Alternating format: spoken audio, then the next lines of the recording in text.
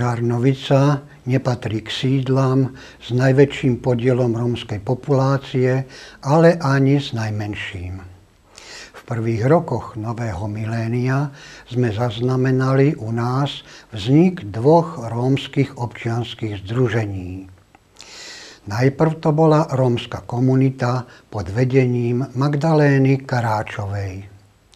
Vznikla v roku 2005 svoje komunitné centrum si zriadila v málo využívanom klube mladých Juventus v kultúrnom dome a v jednej administratívnej miestnosti na poschodí. Prvotnými úlohami bolo poradenstvo a vzdelávanie, práca s deťmi, príprava na vyučovanie a na zamestnanie. V rámci práce s deťmi to boli viaceré akcie, ktoré sa stali postupne tradičnými. Typickou takouto akciou sa stal napríklad karneval.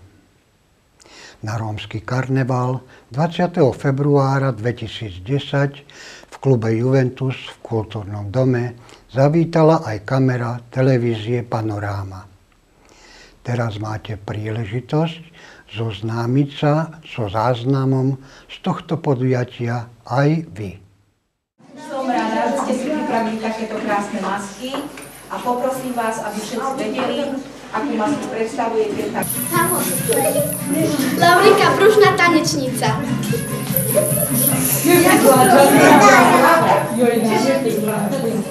Ušana, modelka.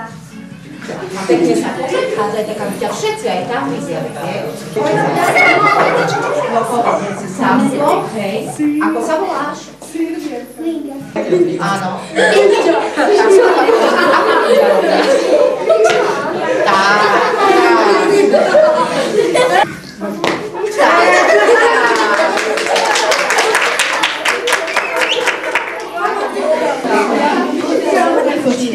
No?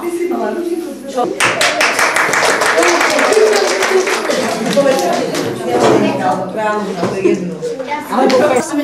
Bravo, bravo.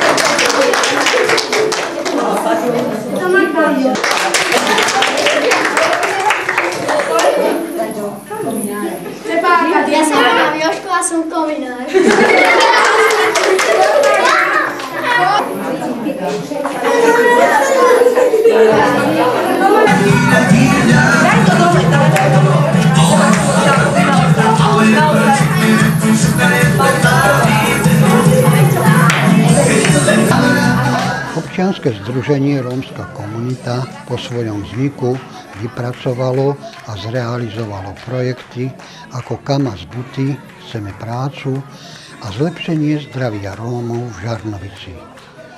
Okrem toho organizovalo rekvalifikačné kurzy pre kuchárov čašníkov a na počítačovú gramotnosť. V komunitnom centre bolo možné zapojiť sa do počítačového, výtvarného, tanečného krúžka a do krúžka varenia a pečenia. Komunita vlastnila fotoaparát, hudobné nástroje, fungovalo doručovanie školopovinných detí, s pediatrom sa riešili zdravotné a hygienické problémy, ale riešila sa napríklad aj deratizácia osady, hral sa futbal, florbal a prevádzali sa iné športové aktivity. Tanečný súbor Bachtale Jile Šťastné srdcia sa na dňuch tanca v Žarnovici v roku 2009 umiestnil v Zlatom pásme s choreografiou Rómsky oheň a postúpil do krajskej súťaže. Rómsky karneval v klube Juventus sa v roku 2010 konal už po piatý krát. Zúčastnilo sa ho okolo 30 detí. Nie všetky deti mali masky, ale potešiteľné bolo, že rok po roku počet masiek mal stúpajúcu tendenciu. Svedčilo to aj o rastúcom záujme rómskych matiek o ich deti. Keďže všetky masky boli pekné, všetky dostali na karnevale darčeky. Činnosť občianskeho združenia podporovalo mesto Žarnovica. Aj vďaka tomu mohla rómska komunita organizovať takéto akcie. Zuzka, sem k nám. Erika. Laura. Pretože máte veľmi pekné masky, tak som sa rozhodla, že neudelíme druhé ani tretie miesto, ale všetky tri budú prvé.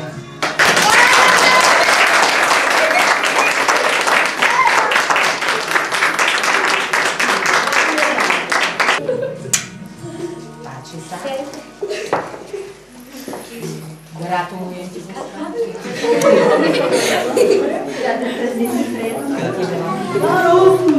Karol, Ďalej, Slavko. Pátka.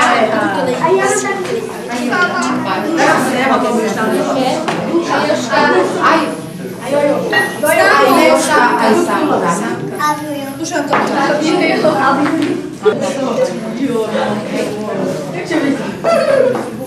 Gratulujem ti, Pačko, máš veľmi peknú masku. Čau,